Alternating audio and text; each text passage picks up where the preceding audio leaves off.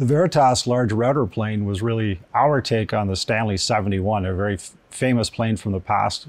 We started producing this in 2005. It's been a very successful product for us and it still continues to be. It does operations that no other plane can do. It's, it's very unique. It cuts not level with the surface, but an exact distance below the surface. So your your bottoming areas, you're you're cutting the bottom of grooves, dados, uh, fine sizing on rabbets. It just does a whole host of jobs that no other plane can do.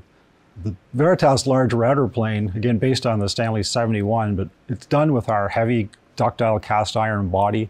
Uh, we gave it some ergonomic attention, the angled handles. It's just a nicer plane to handle. Great visibility. We actually integrated it with the old planes so that it will accept blades from planes from 100 years ago. Our new blades will also work in those old planes, so we wanted that compatibility. And it has a very precise adjustment mechanism that runs on a very fine thread up and down with a locking stop and then a locking collar, which is, is machined from extruded aluminum and it's hard anodized.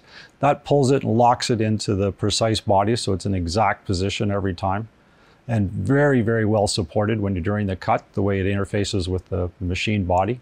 This plane continues to be a very popular plane that we produce, and this is 15 years and running. And it just tells you how many serious woodworkers there are people that are really getting into the craft at that level. They require this specialized a plane.